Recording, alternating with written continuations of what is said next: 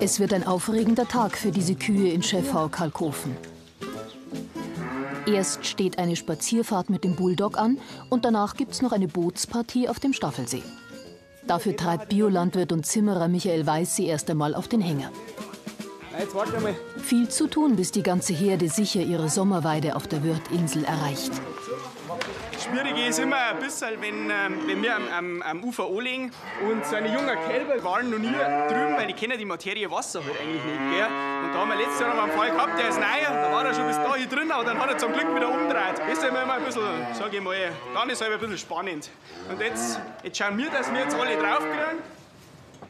Unruhe im Winterstall. Doch als eine ranghohe Kuh vorangeht, folgen die anderen ohne Zögern. Nur die Jungtiere kennen das Prozedere noch nicht und hauen ab. Losen, losen. Ja, super. Und plötzlich legen auch die anderen Kühe wieder den Rückwärtsgang ein. Ja, machen wir nur mehr einen Versuch. Jetzt war jetzt doch schon drum. Zieh auch noch mit.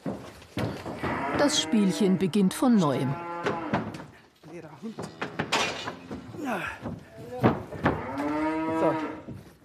Geschafft. Die Kühe sind auf dem Hänger. Doch ausruhen kann sich Michi Weiß noch nicht, denn nun beginnen ein paar Rindviecher die anderen zu drangsalieren und ins Eck zu schieben. Das ist eine sehr ranghohe Kuh. Die brauchen wir, dann ist Ruhe. Und wieso will die da rankeln? Weil die anderen rangniedrig sind und auf die hat sie halt immer abgesehen. Einmal angebunden wird's friedlich auf dem Hänger. Michael Weiß Senior hilft mit und gibt ihm die Glocken. Werden die extra für den Viehtrieb auf dem Staffelsee angelegt? Das hat den Grund, die Insel ist ja relativ groß. Und äh, dass ich finde, wenn ich in der Früh vor der Arbeit zum Nachschauen rübergehe, dann halt her ich halt am See auch genau, dann weiß ich, da sind sie.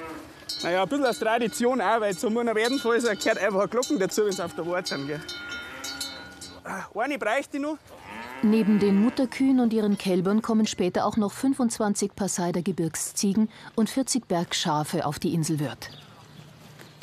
Doch noch sind die Lämmer so klein, dass Michi Weiß Angst hat, dass sie vom Fuchs geholt werden oder das Kolkraben ihnen die Augen aushacken. Eigentlich ist jetzt alles bereit, nur die Reifen sind fast platt. Ja, dann Luft rein und los geht's. Auf dem Hänger wäre noch Platz für weitere Kühe. Doch mehr als sieben Tonnen darf das ganze Gespann nicht haben. Sonst besteht die Gefahr, dass die Fähre bei Wellengang plötzlich Wasser schöpft und alle in Seenot geraten. Los geht's. Von seinem Hof in Schöffau-Kalkofen braucht Michi Weiß mit dem Bulldog rund eine halbe Stunde bis nach Seehausen zur Halbinsel Burg. Vom dortigen Campingplatz aus ist die Fahrt rüber zur Insel Wörth am kürzesten. Es ist das dritte Mal, dass Michis Kühe als lebende Rasenmäher auf die Insel kommen. Sie lösen die Auerochsenherde ab, die vorher dort geweidet hat. Denn die hat große Trittschäden verursacht. Die Murnau-Werdenfelser Rinder sind leichter und genauso gut als Landschaftspfleger geeignet. Viehtrieb auf dem Staffelsee. Kein Wellengang. Alles läuft glatt. Ein Ritual wird nun bei jeder Überfahrt vollzogen. Jedes Tier bekommt ein wenig Weihwasser auf den Kopf.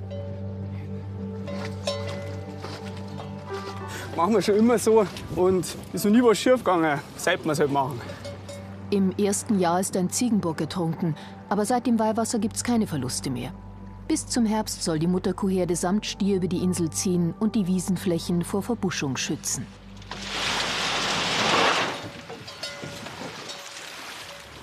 Ankunft auf der Insel Wörth. Nun heißt's aufpassen, dass alle Tiere sicher an Land kommen.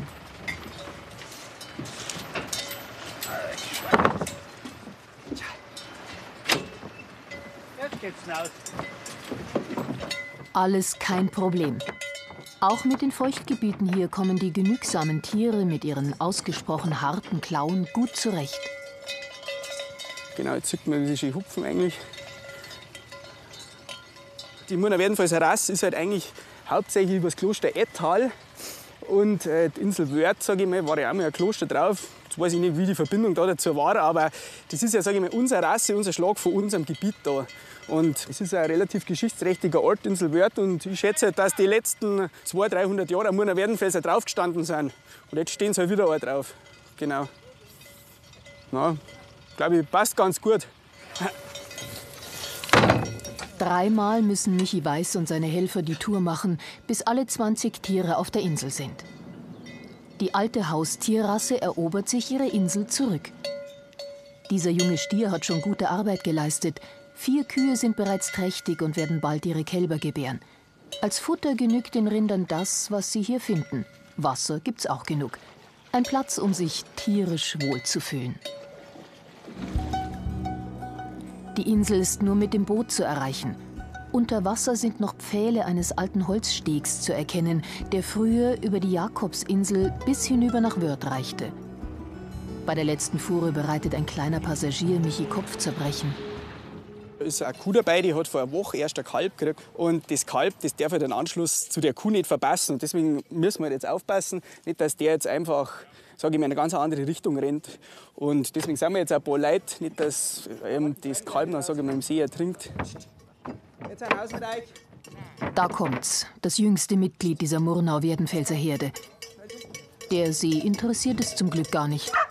Erst mal schauen und dann ab durch die Mitte.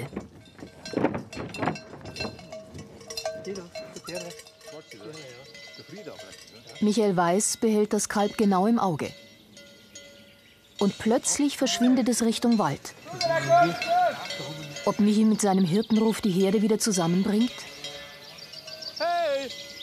Guter Kuss, Kuss, Kuss, Kuss! Hey! Habe mir gesehen, sie ist da allein davor, bis sie die Mutter wieder gefunden hat. Und dann, dann passt es wieder. Gell? Sieht man sie ja, da hinten stehen sie. Jedes Jahr ist es schön, wenn sie wieder draußen sind. Herrlich, ja. Aber wenn man das sieht, und man sieht andere Sachen, das ganze Jahr im Stall drin und so. Nein, das wäre nichts für mich. Jeden zweiten Tag wird Michi nun nach seiner Herde schauen. Doch die robusten Murnau-Werdenfelser kommen auch gut allein zurecht.